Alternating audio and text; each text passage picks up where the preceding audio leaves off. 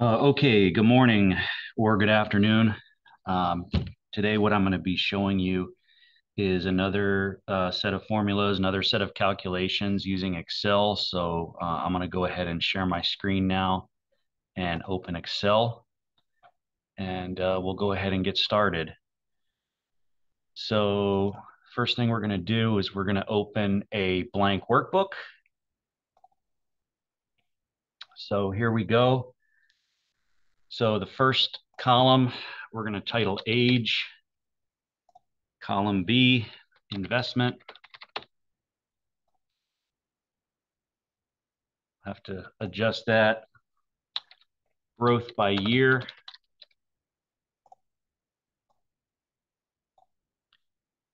And then we're going to cut and paste that. So I'm going to hold down, go over, hit Control X. No, uh, I'm actually going to copy and paste, not cut and paste. So I taught you how to cut and paste before. Here to copy and paste, we center, center it, hold down our left mouse button, Control C. Put it right here, Control V. So there we go. So this one, we need to expand this column a little bit, expand this column a little bit. And let's bold all of this and increase the font size slightly. Need to do this. Okay, so today I'm going to teach you something that I wish somebody had taught me when I was in school, and this is the idea of compound interest and how um, the earlier you start investing in life, the more money you will have um, in the later years of your life. It's it's actually called in finance. It's called the snowball effect. Um, what we're going to see here is investing toward the end um, really starts to to pick up speed, and you can really um, start to make a lot of money toward the end if you invest early enough. So um, what we're going to do is we're going to do a simulation of uh, what is called a Roth IRA. So what a Roth IRA is, what that means is that the government will allow you to invest up to $6,000 a year or roughly $500 a month tax free. So what that means is when you get your paycheck from your job, once taxes have been taken out, this is what we would call after tax money. So if you put $500 um, of your paycheck into this Roth IRA, once you reach the age of 65 and decide to withdraw from it, there are no taxes taken out on it at all. It grows tax free. So you're never taxed each year on this investment, and you're never taxed um, when you start to withdraw it at the age of 65. It is completely tax free. It's your money. So whatever numbers we're coming up with are the numbers that you get to keep. So what I'm going to do uh, here is I'm going to show you a simulation. We're going to start at the age of 18. We're going to do a simulation starting at the age of 18. And what would happen if you started at the age of 40 and look at the differences. So in order to uh, in order to not have to type 18 to 65, I'm just going to enter this formula here equals the cell above me plus one. Now I can go ahead and drag down to the age of 65.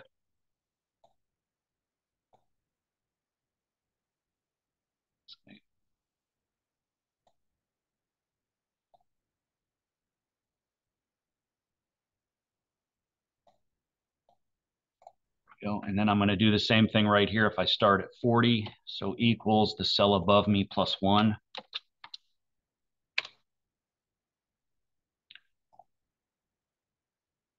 And let's drag that down to 65.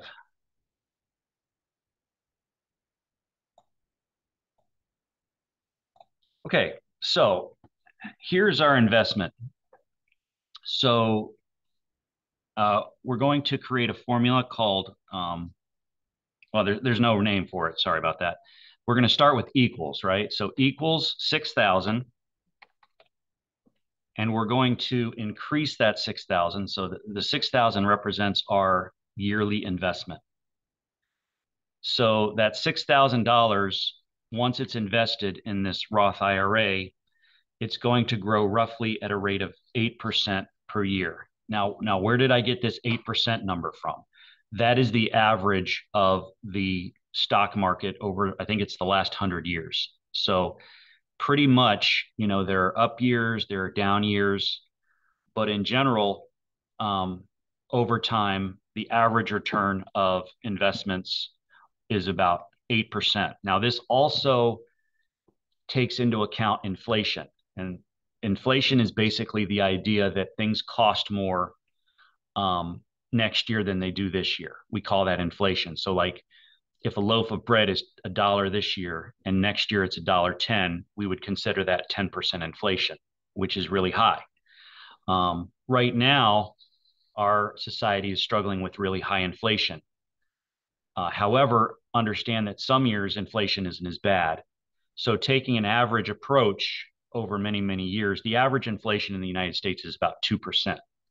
So, a loaf of bread, a dollar this year would be a dollar two next year usually you know you have less inflation some years more inflation others. It all kind of balances out to about 2% so if the stock market on average returns 10% per year and inflation is 2% per year then 10 minus 2 is 8 so your your your growth is about 8% per year.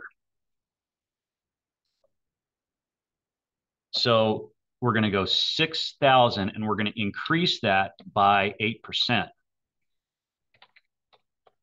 now, if I had just put 8%, if I had just put 0.8, 0.08, it would have it would have taken the 8% of 6,000, but we want to increase 6,000 by 8%. So I have to put that one there first.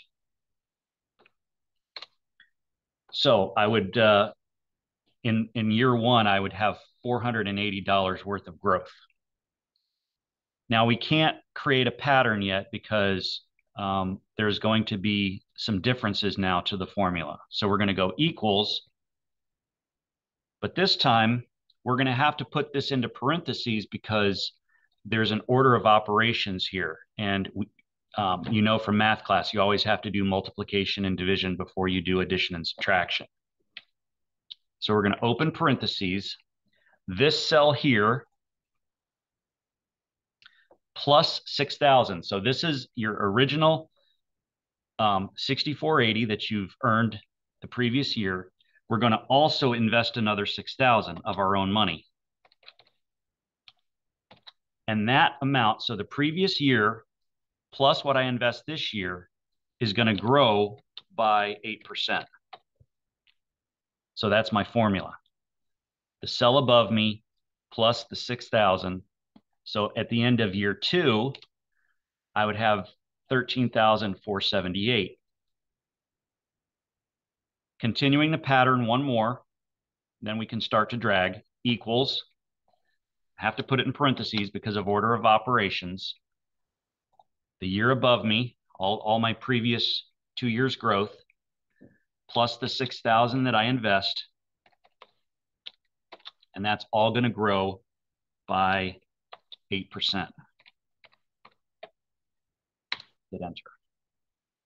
Now at this point, we can drag down that formula to the age of 65. And I'm going to make this money. It's just a number, but if I click on this dollar sign, it changes it to dollars. So let's make sure that we've uh, done our formulations right. Um,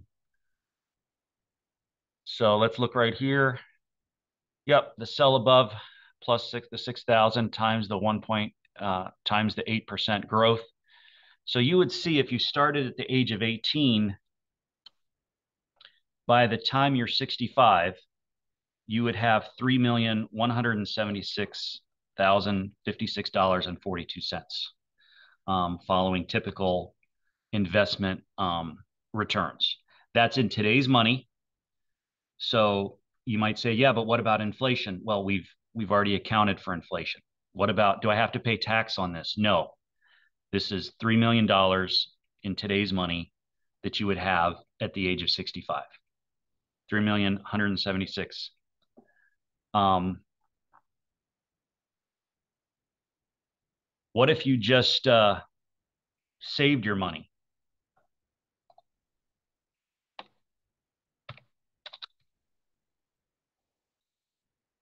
Well, let's see what would happen if we just saved our money. Put it in a put it our, under our mattress or something like that. No interest bearing. see what we get. Right? Uh, yeah, there we go. We'd only have $288,000 if we just took that if we didn't invest it, we just took that money and put it under our pillow, $6,000 a year would only yield us $288,000 if we didn't invest it. So definitely worth it to put that money into investment. Um, don't put it into a savings account at the bank. That's only like 1% interest. Doesn't even keep up with inflation. Now let's look at our growth by year. So there's no growth this year, right? because it's the first year. Now we're going to take, if we take this cell minus this cell, that would represent our growth. Same thing here. We take year three growth minus year two growth. So you'll notice it's growing more each year. This is what we call the snowball effect. By the end,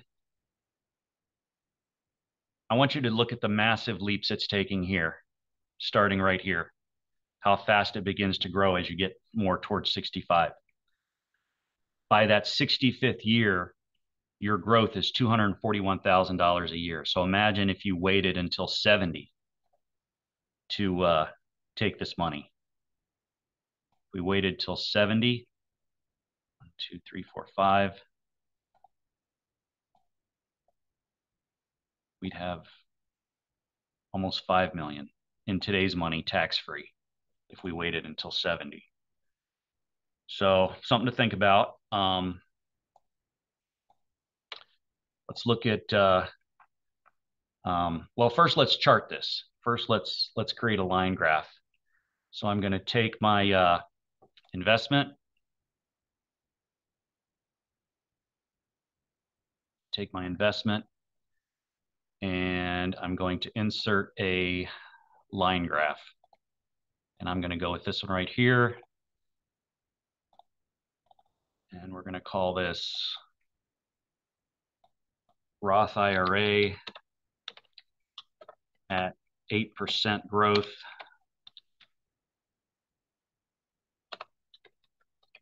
Starting at 18.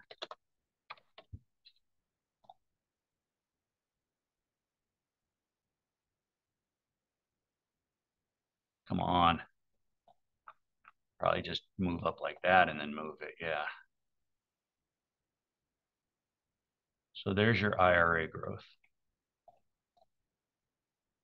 What happens if you start at the age of 40? Can you get that same snowball effect, or is it really, really important to start young? Well, so we start in our first year, we, we uh, invest our $6,000 that's going to grow at a rate of a rate of 8%. That following year, we're going to have that original investment. We're going to add an additional 6,000 to it of our own money. And that's going to grow at 8%.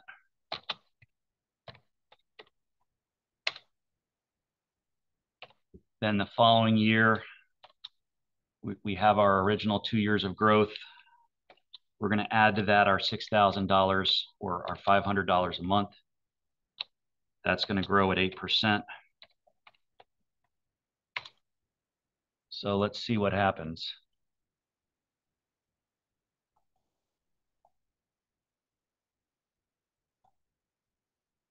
And uh, we'll make these dollar. Um, sorry, let's just do that.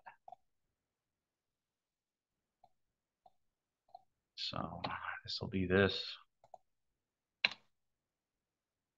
This will be, the growth will be this minus this. Growth will be this minus this.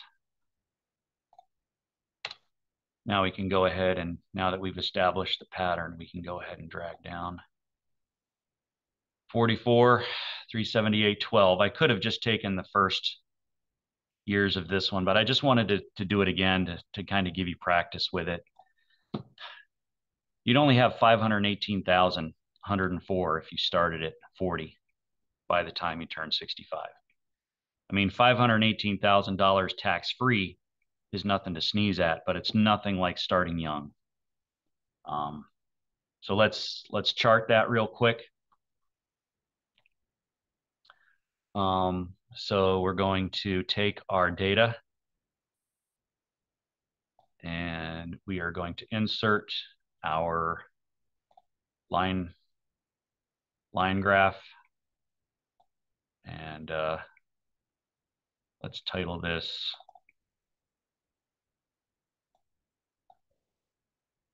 um, Roth IRA at 8% growth starting at 40.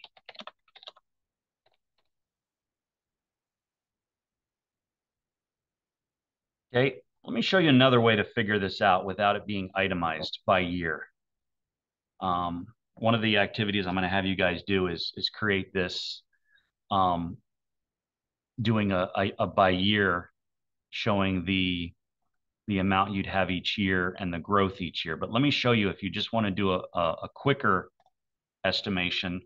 This is what we would call the future value, um, the future value function. So what we would say is we would say equals FV for future value.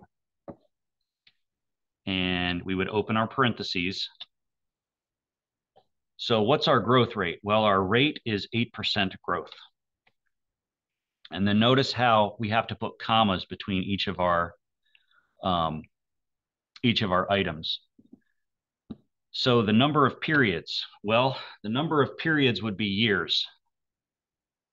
So let's just real quick do a, a quick calculation. 65 minus 18 would be 47 years of investing. So the number of periods would be 47, comma. What's our payment? In other words, how much are we putting in each year? So we would be putting in $6,000. Now I made it a negative because that's money that we're losing, right? So um, we want the answer that it gives us to be positive. So we have to make our 6,000 negative because we're, we're giving away that $6,000. The present value, how much do I have starting out with? Well, I have zero starting out with. We're starting this calculation from zero. Now, if, if I had $30,000 that I wanted to start with right now, and then grow from that point, I would put that here under present value. But since the assumption is a person at 18 is starting with zero, we're gonna we're gonna have it um, do it that way. And then finally, is the interest going to be added at the end of the year or at the beginning of the year? Um, let's just go with the default zero for the end of the year. And let's see what it feeds back to us. Okay, so there, there is the future value of that. So you'll notice there's a slight difference between this number and this number, mostly because of that last thing that we did, whether it's the beginning of the period or the end of the period. Um, but anyway, that gives you a general idea. That's what we call the future value. So notice my calculation equals FV, 8% growth for 47 years. We're paying into the system $6,000 per year we're not starting with anything, and the interest compounds at the end of each period. Now let me show you another function called the present value function. No, I'm sorry, the, the payment function. So basically, the way the payment function works is I want to have a million dollars tax free by the time I'm 65. How much would I need to invest? Well, I would have 15 years. So let's see what I'd have to put in. Equals PMT for payment. My rate, I'm going to assume 8% per year. That's the 10% growth in the in the stock market minus 2% for inflation. So I'm going to put 0.08. The number of periods is 15 years to do it in. My, uh, my present value is zero. My future value, I want a million dollars in 15 years. Sorry, this is supposed to be 8% growth. My future value, I want a million dollars. So a million is six zeros. And the type is the end of the period. So I would need to put in $36,829.54 per year, which would work out to divide that by 12, and that would give me per month three i'd have to put in about $3000 a month into investments to have a million dollars by the time i'm 65 so we call that the payment feature. Notice that um, I so here here was my interest rate here was my number of years what I was starting with how much I'm I'm wanting in that amount of time and then it's compounding at the end of the year the last function that I want to teach you is the um, present value function. So this kind of answers the question, would you rather have $10 now or $100 in 10 years? That's the question. Would you rather have $10 now or $100 in 10 years. So let's find out using what's called the present value function. So present value, our interest rate is 8%. The number of periods is 10 years. Payment is zero. We're not, we're not putting in any monthly payment. We're just finding out if we'd rather have $10 now or $100 in 10 years. The future value is $100 and the type is zero.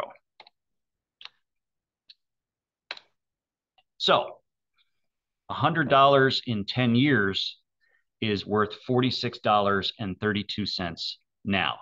So basically what that's saying is, would you rather have $10 now or $46.32 now? So some of you would say you'd rather have rather have the $10 now than $100 in 10 years. However, you should know that that $100 in 10 years is worth $46.32 right now. That's its present value. So it basically goes in reverse and and set if if I were to say 4632 times 8% growth for 10 years, in 10 years I'd have $100. So that's the whole idea behind that. So um, I'll be uploading um, an activity to Schoology that you can practice some of this stuff. And um, hopefully this video uh, proves helpful. So um, anyway, hope everybody has a great day.